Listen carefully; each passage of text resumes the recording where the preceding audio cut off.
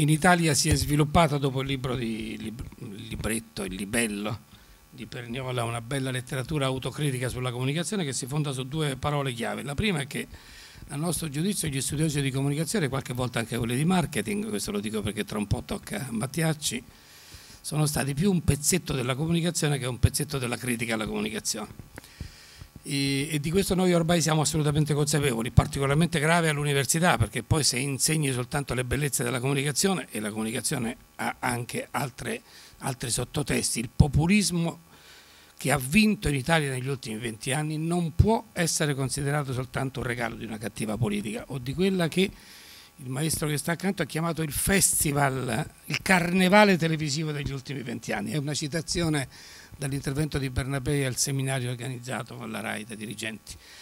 E però mh, siamo andati così avanti che mi tocca fare una citazione per integrare le letture di Mirabella anche in vista degli incarichi del prossimo anno.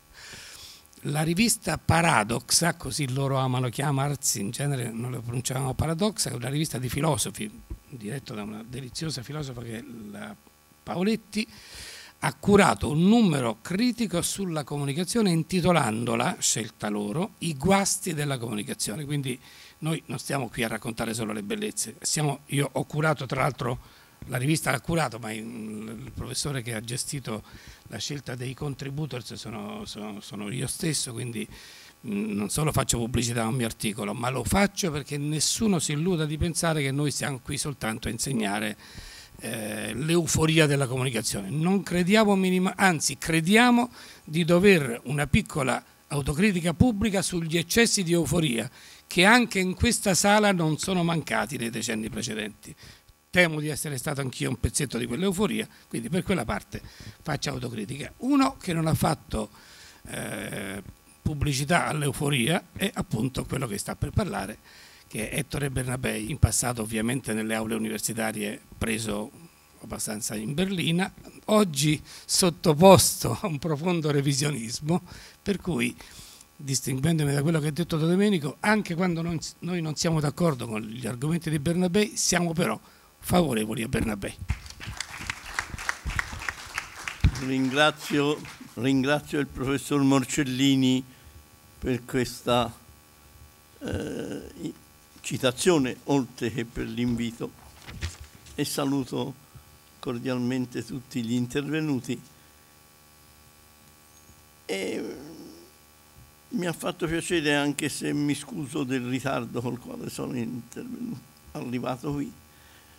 Eh, con piacere accettato di dare un contributo, un contributo che può sembrare ad alcuni anche un po' strano, ma però sta per scadere la convenzione tra la RAI e lo Stato. E quindi il momento è opportuno per proporre dei sistemi per assicurare a questo Paese un buon servizio pubblico.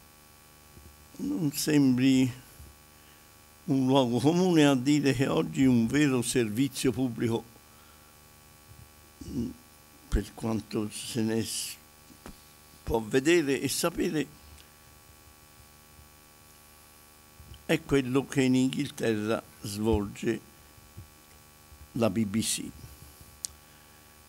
Ma perché?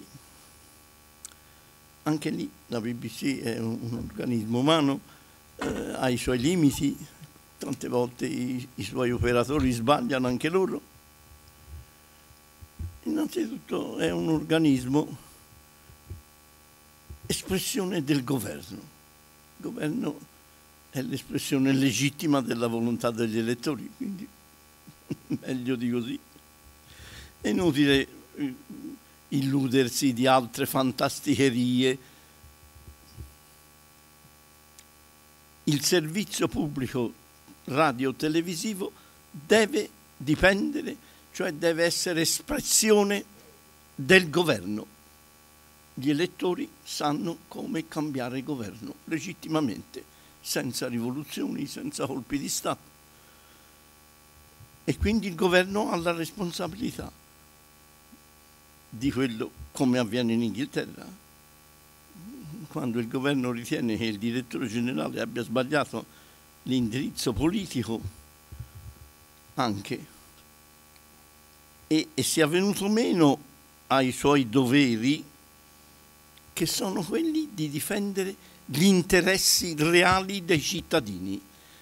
E qui vengono, ho sentito tante espressioni giuste di servizio pubblico, ma il compito essenziale di un servizio pubblico radio-televisivo è, è quello che un tempo esercitavano le forze armate, difendere gli interessi essenziali di una popolazione, di una comunità, di una zona geografica, visto che siamo in tempi di globalizzazione più o meno vera, più o meno eh, mascherata, ma siamo in tempi anche di grandi eh, agglomerati geopolitici. Eh, noi facciamo parte dell'Europa, come nel Nord America una grande parte delle persone che, che vi abitano fanno parte degli Stati Uniti d'America un, un miliardo e trecentomila persone fanno parte della nazione cinese, che anche quello è un grande conglomerato di cultura, di civiltà, di interessi, con i suoi limiti, con i suoi errori, anche quello. Quindi il servizio, il servizio pubblico radio-televisivo deve difendere innanzitutto gli interessi di una popolazione che parla quella lingua. È un, un concetto abbastanza semplice ed elementare. E allora ecco perché bisogna pensarci bene alla struttura anche di questo organismo. Il professor Morcellini ha avuto l'amabilità di dire la mia sapienza, non la mia sapienza, la sapienza è qui. Eh, eh sì, sì, sì. Eh, io credo prim, all'esercizio primario dell'insegnamento universitario e quindi eh, non per un complimento a, a, a, dove ci troviamo e a chi ne è il responsabile. Eh, io credo che l'ente radiotelevisivo di servizio pubblico in Italia debba essere assicurato da una società per azioni il cui capitale sia in maggioranza assoluta, cioè almeno il 75%, eh, dello Stato ma non del governo come attualmente. Attualmente la RAI è posseduta interamente dal tesoro, quindi è un'azienda di Stato, handicappata da tutte le limitazioni delle aziende di Stato. Allora,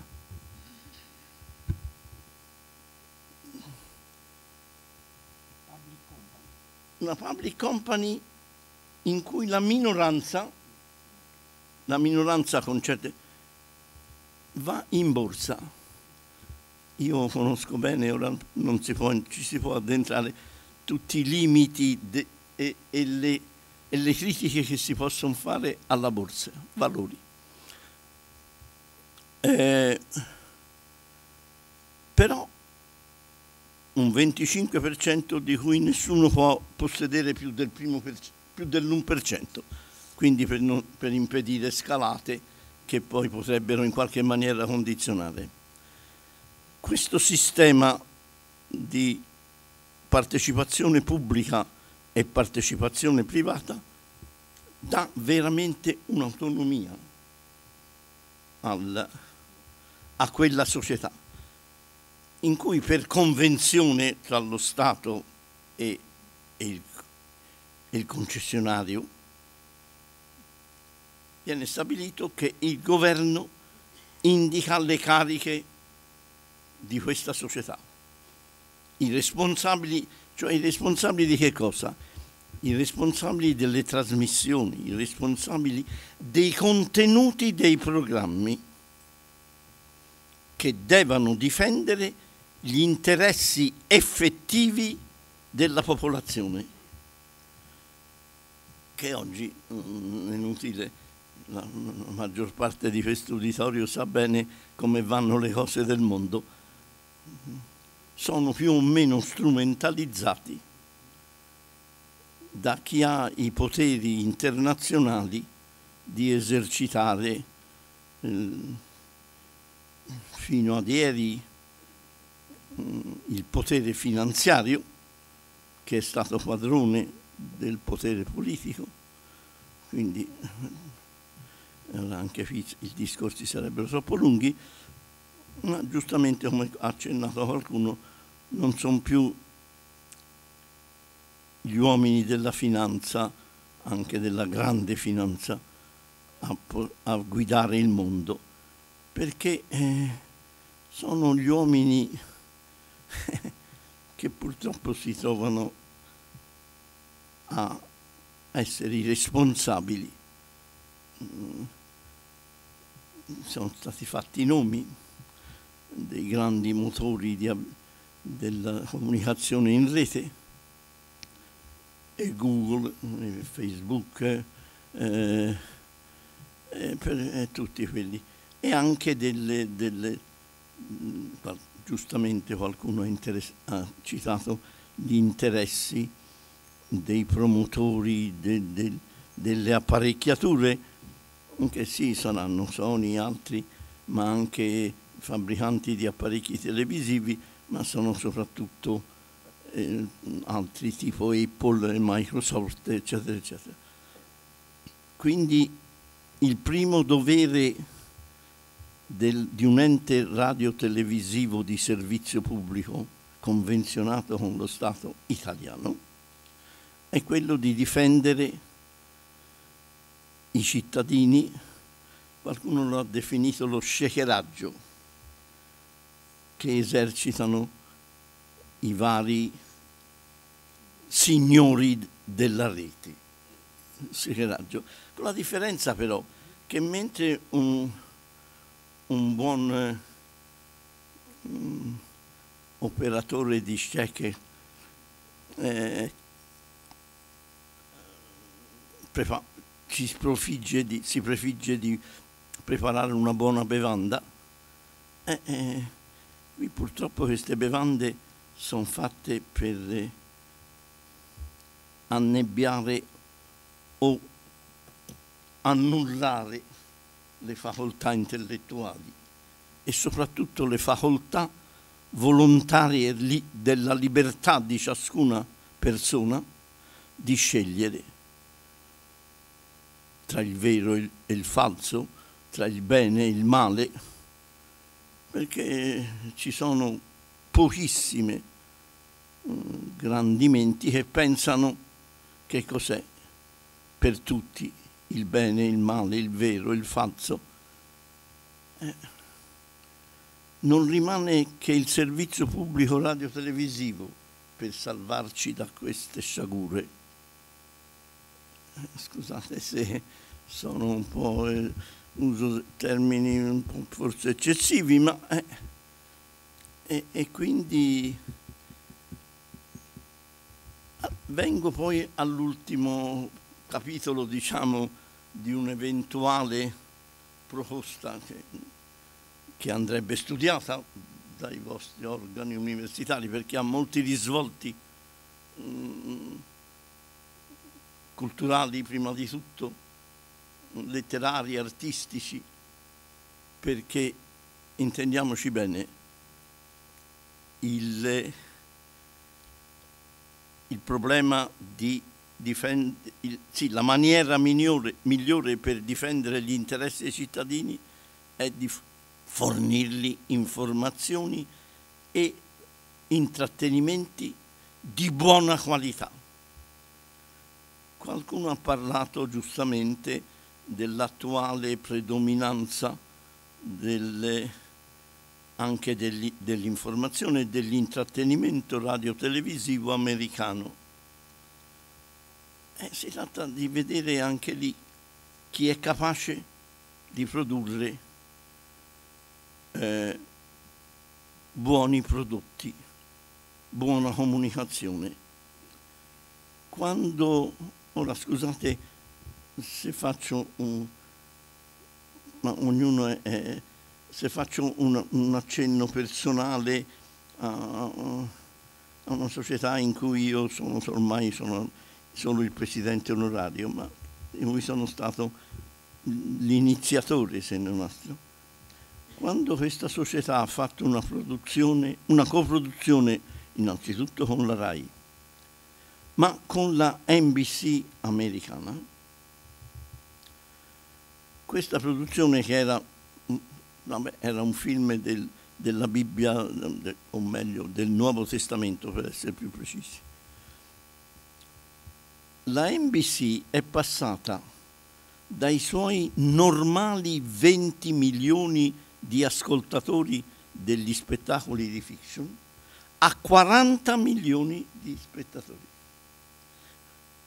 e pertanto ha quasi raddoppiato i, i suoi proventi di pubblicità inerenti a quella serie, a quello spettacolo, a quella cosa. Allora, buona qualità, perché servizio pubblico non vuol dire avere un primato. Eh. E vengo in, in definitiva e chiudo alla questione famosa del canone. Io penso, per la mia esperienza anche, che il canone sia, si possa abolire, anche perché, diciamocelo pure, sì, io ne sono stato un difensore ma ehm, non è tanto facile so- sostenere, mm, sostenere l'utilità, sì, ma la popolarità e, la, il gradimento di pagare il canone è un po' difficile eh? e anche convincere gli evasori a, a, a pagarlo mm, credo sia molto arduo. Io credo che il canone possa essere abolito un, un, un oratore che mi ha preceduto, ha, ha, fatto un cenno al sistema tedesco.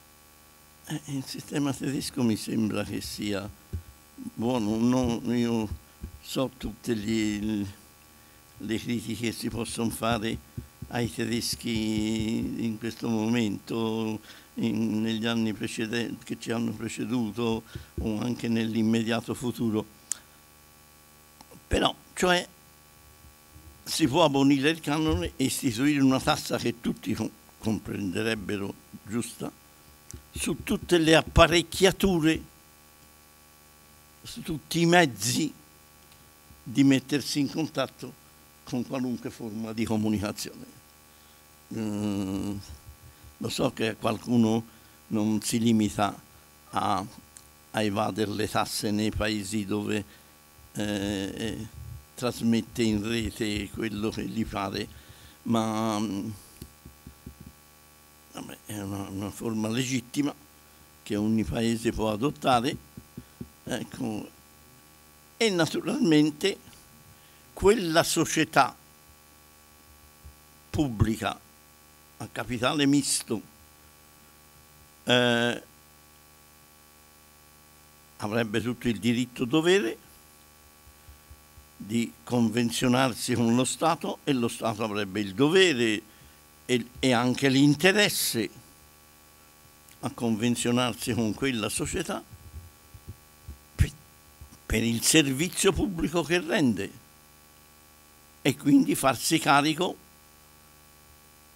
di quella possibilmente valutabile, credo, apporto dato dalla società di servizio pubblico, come un resto perché nulla di nuovo sotto il sole. Un tempo esistevano, c'erano tante convenzioni con eh, la, la RAI e lo Stato per servizi che la RAI rendeva in esclusiva allo Stato italiano e quindi la gente sarebbe tranquilla. E avrebbe, perché non tutti sono colti, eh, compresi del bene pubblico, eh, eh, tanta gente è distratta, tanta gente, però potrebbe, dovrebbe essere sempre attratta dalla, dalla qualità di primo livello dei programmi della radio televisione di servizio pubblico e, e quindi mh, sentirsi tutelata nei propri interessi reali, funzione che del resto esercita anche la, la stampa, la, la comunicazione attraverso la stampa scritta. Eh, e quindi eh, eh,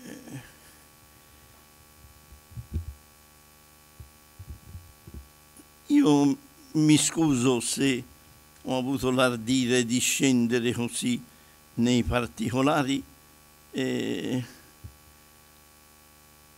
ma penso che sia un, momento in cui riflettere veramente che nel nostro paese la radio-televisione può essere un servizio di sicurezza pubblica. Grazie. Grazie, speriamo che anche nelle prossime puntate possiamo avere qualche pillola di saggezza e, e confermo ovviamente al dottor Bernabei, oltre che la, la nostra immutabile simpatia, anche il fatto che noi siamo qui per difendere e rinnovellare, userò questo verbo, il servizio pubblico. Lo possiamo fare soltanto in questo modo, aumentando il pensiero e la discussione pubblica. Grazie del suo contributo.